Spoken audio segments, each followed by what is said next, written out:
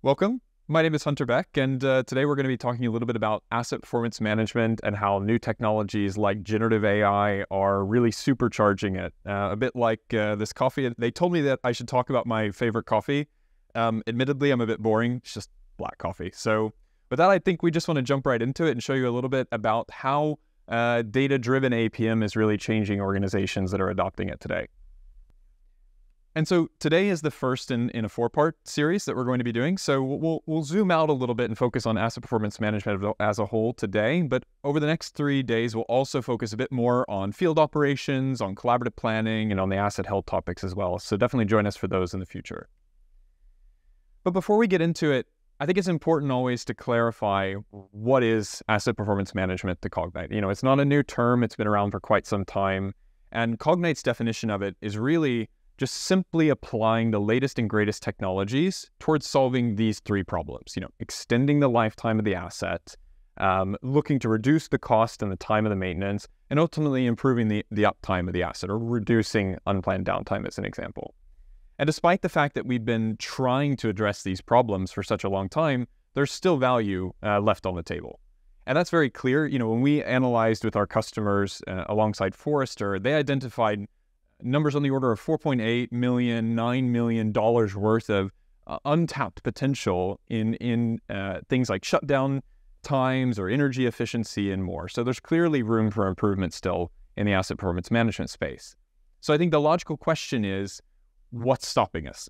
And if we take, you know, kind of a loose-grained uh, view of this, you know, in the major organizations that are trying to tackle these problems are the, you know, the reliability teams trying to set up the right maintenance plans or care plans, the maintenance teams actually executing on those plans, and then, of course, the operations teams who, in some ways, are a, a consumer of all of the, the stuff that happens there and, and really also capturing firsthand knowledge about how the equipment is running on a day to day basis.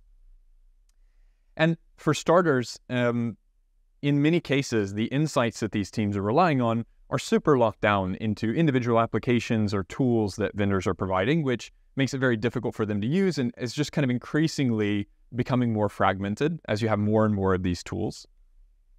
Additionally, uh, as we're trying to take more complex decisions, really fine tuning the last percent or point percent type of uh, um, areas within operations or within maintenance, et cetera, we have to rely on way more data and way more variety of data. And that's just really, really cumbersome and challenging for, for teams to use as you continue to add more.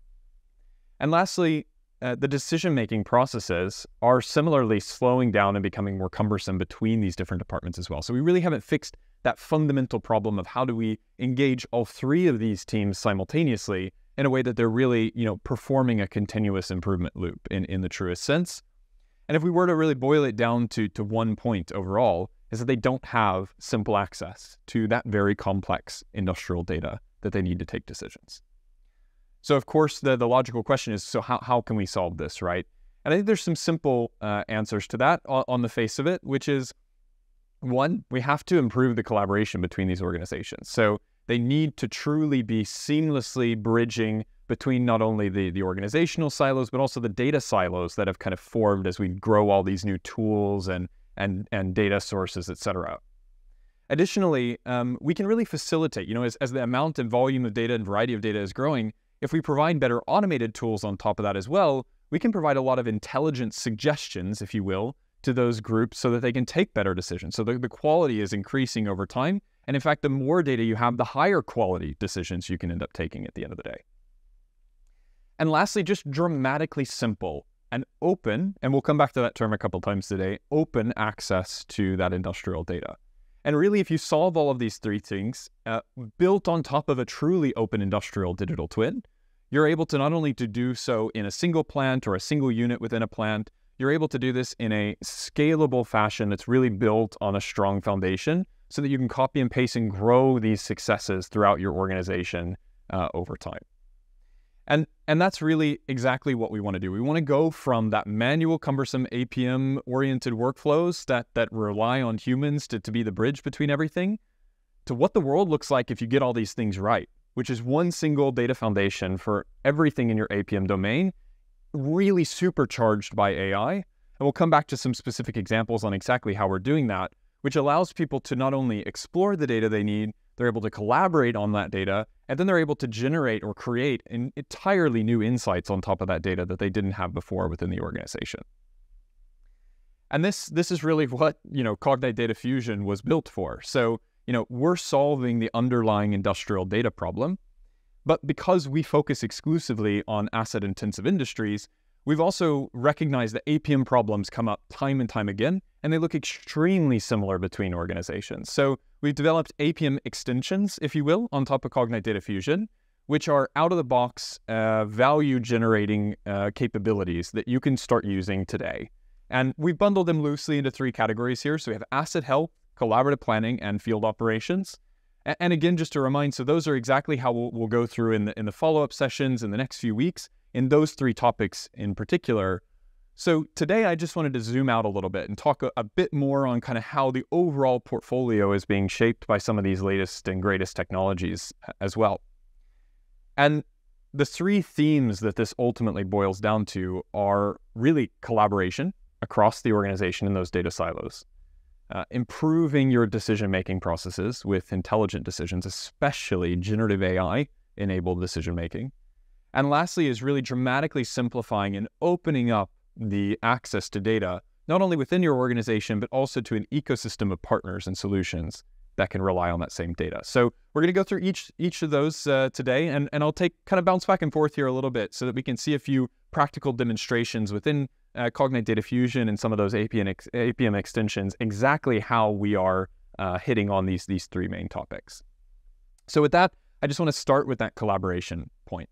And for this, I want to jump into one of our, our latest and greatest tools, uh, which is Industrial Canvas. Um, so Industrial Canvas, as you can see here uh, with me, is I can get any of the data that's accessible in Cognite Data Fusion and, and bring it instantly into a uh, open workspace that I can start um, uh, working on. So the first thing is here, so I search for an asset 23 uh.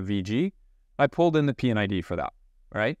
And so within that P&ID, we can see we have lots more information I can I can pull out.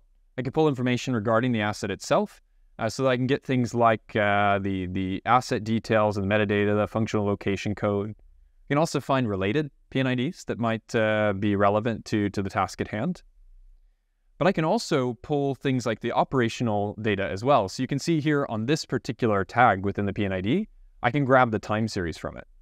And I'm not just pulling a static time series uh, data from this. I'm actually zooming in and I can interact on that live data um, so that I can figure out um, if there might be a problem area, for example, here. And in the spirit of this, you know, I mentioned that the, the topic here is really around collaboration. Um, and with collaboration, that means involving other colleagues because most important problems within industry today are solved across multiple people and teams. So here I've just tagged my colleague Kelvin and asked him if he could take a look at this particular issue.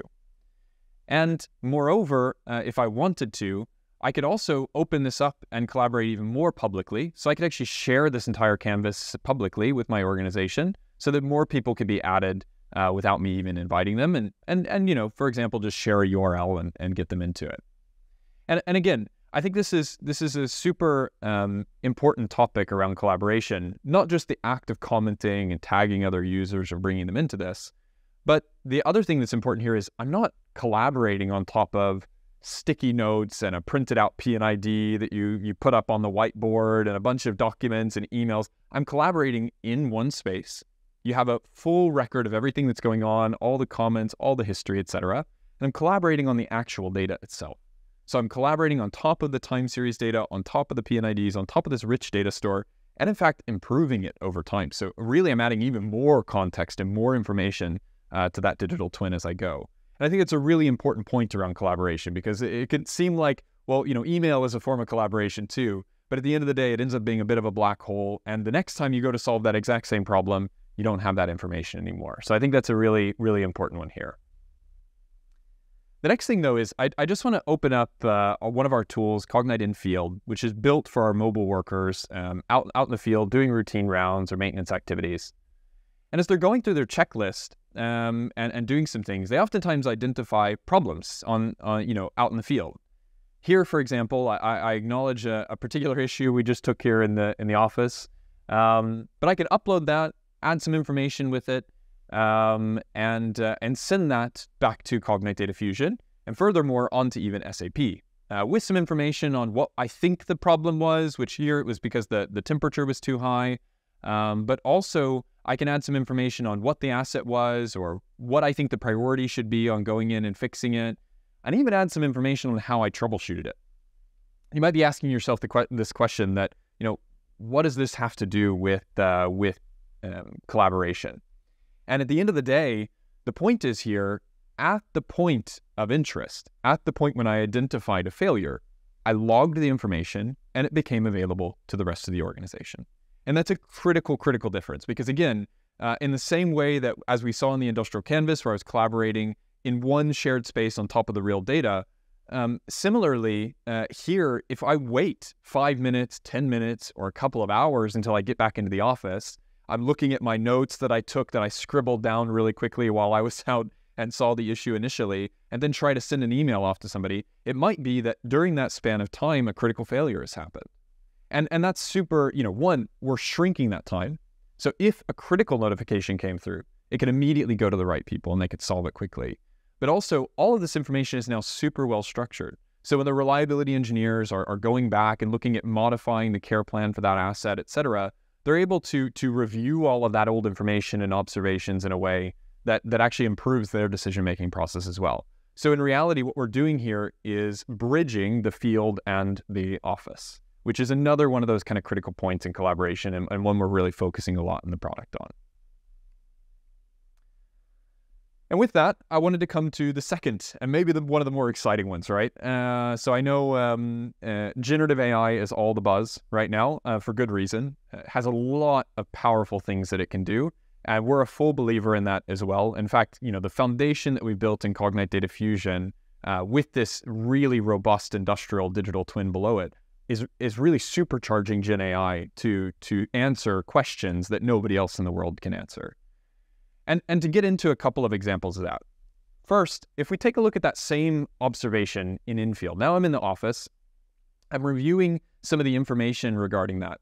But now instead of just going in and clicking and finding the information, I ask generative AI. I say, hey, what do I do if this sensor is faulty, that one that we saw earlier? And generative AI digs through all of the documents that I have and says, hey, if the sensor's faulty, this is what I think you should do. But of course, an important thing here is that we need to be able to trust the information that's being provided. So you always give references to the underlying data so that people can verify and, and look up some of the other surrounding data about it as well. And I think that's super, super powerful and that now I'm able to, to answer and accelerate the entire workflow around gener- with using generative AI uh, to, to really query and, and build out all of that information. And I think you know, the the the clever way of thinking about this, or a good analogy for this, is like having an intern with photographic memory, going through all of the tens of thousands or hundreds of thousands of documents that you have in your organization, and they can remember everything. They're not an expert. They're not, you know, they might not be a mechanical engineer or what have you, but they can tell you exactly where you need to go look and find the information. And that, in and of itself, is a very, very powerful concept uh, and something that we think is going to, to provide a lot of value to those experts who are trying, you know, those t- technicians out in the field that are actually doing the, the, end, uh, the end work. But it also can be leveraged in much more powerful ways, if we will, as well. So not just searching and summarizing, but here I'm, you know, leveraging generative AI in a planning context where planners today have to consider a huge amount of information. So for example, here I pulled up an isolation plan you know, again, leveraging generative AI to pull up and find relevant information. But I'm also asking uh, generative AI to to grab other information or make suggestions around how I might best optimize my schedule, um, which again is now not just giving me search and summary type of re- results, but actually providing advice and starting to guide me through the process of creating a better plan. And again, coming back to that same point earlier around the fact that uh, these planners and individuals and operations are having to rely on a huge amount of data. Now the planner is able to leverage an even larger set of data to take even better and higher quality decisions. And again, that means that they might shave 1% or 2% off the time it takes to complete maintenance, which means you keep chipping away at that backlog much, much, much faster, which is, we know, a critical problem with an industry, especially with aging assets and, and more. But again, the last topic that we wanted to tackle is just dramatically simple and open access to the data. And the reason why we're so keen on this topic is because everything we've seen today are great examples of how um, APM can be done in, in a modern setting. But all of it is built on top of this APM digital twin, which at the end of the day is an open and extensible data model within Cognite Data Fusion, cutting across the OT, the IT, and the engineering or ET data. And the reality is that no matter who you are or what vendor, nobody provides all of the answers within the APM space. Not Cognite, not nobody. and, and that means, though, that we need to be able to provide an ecosystem type of approach to asset performance management. So, although we provide some really out of the box solutions to solve some specific problems that are really challenging to solve within industry, we also leverage that open and extensible data model to connect to partners uh, and to third parties or to allow customers to develop their own tools on top of Cognite Data Fusion.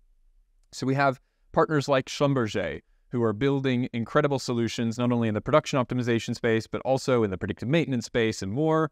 We have robotics vendors like Boston Dynamics that we connect to to send out into the field in place of humans so we can completely uh, replace the need for repetitive, mundane tasks for them. Or partners like Pinnacle, who are taking their re- deep reliability domain knowledge and embedding it into integrity operating windows that are done live on top of your equipment so you can better act on them and moreover, we have industry players like SAP who are everywhere and at the end of the day are going to be your system of record for things like work orders. Great, perfect. We write back, we both consume data from SAP, but we also write back data from it uh, to SAP. So that observation we saw earlier in Infield ends up as a notification within SAP.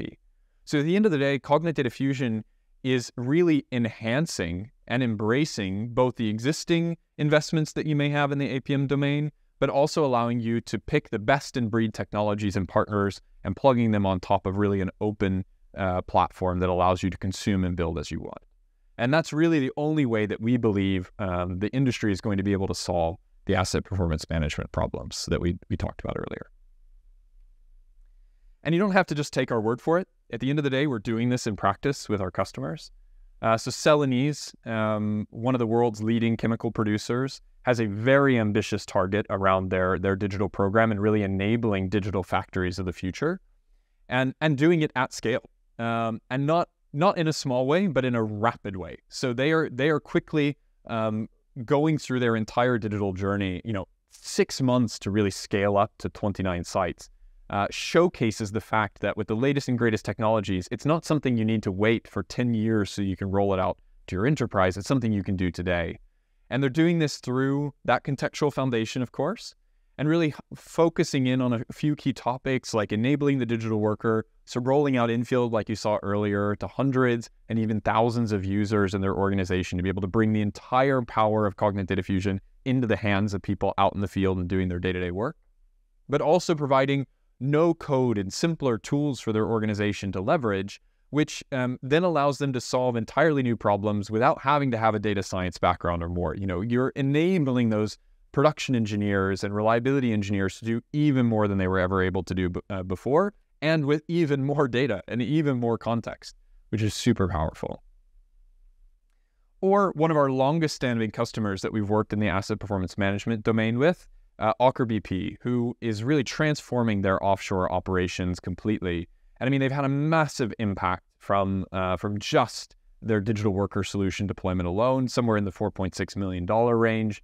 Huge redu- reductions in their routine inspection times and their maintenance efficiencies, um, and and a lot of that is built off the fact that again, same song and dance. They're able to provide that entire contextual, easy, simple access to to that industrial data but they're able to do so both in a real time fashion. So they're able to leverage OT data really live coming to the individuals that need to take decisions off of it. And again, that's one of the really critical things that separates maybe the consumer industry from the industrial industry. That real time data is something that's really, really critical to us. And moreover, they're able to leverage things like engineering documents and 3D to optimize the work. So they they have spatial awareness for, hey, I'm doing this work order here. A couple meters away, there's another work order that's open. Maybe I can combine those sets of work so that I can tackle both of them at the same time and spend less time traversing from one place to the other on the platform. Uh, or P&IDs to understand and better take decisions on isolation planning or, or turnaround planning. And in summary, I mean, if we really boil it all down, first of all, it's clear generative AI is going to really supercharge APM investments uh, and do so in a way that is going to radically change um, how people are operating today, provide them even more information and higher quality decisions. Secondly, you know, collaboration is going to require that you have simple access to that complex industrial data. And you're going to need to be able to do that in a live setting on top of that data, that rich data itself, not in, again, printing off things and emailing and phone calls and more. And lastly, nobody's going to solve the APM problem on its own, on their own. So you need to have that openness and ecosystem oriented concept around APM so that you can really tackle some of the biggest and most difficult problems, not just today, but over time as well. And I think with that, you know, there's a lot more information that we can share. Of course, there's a few links here that you can go to to access um, some customer stories and to check out demonstrations of industrial canvas and some of the other things that we've seen today.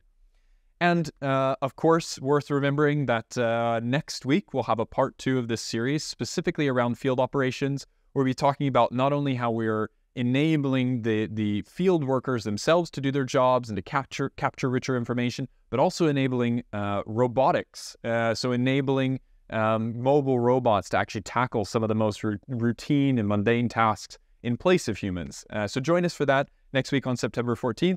Until then, enjoy your coffee.